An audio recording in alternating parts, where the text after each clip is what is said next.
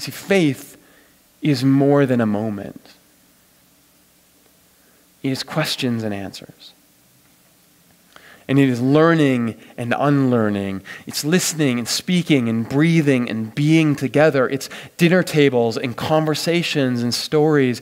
It's all the surprising ways that we discover Jesus in the conversation when we let the Spirit blow.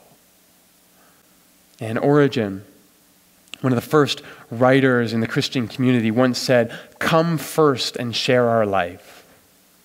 Then you may come to understand our belief.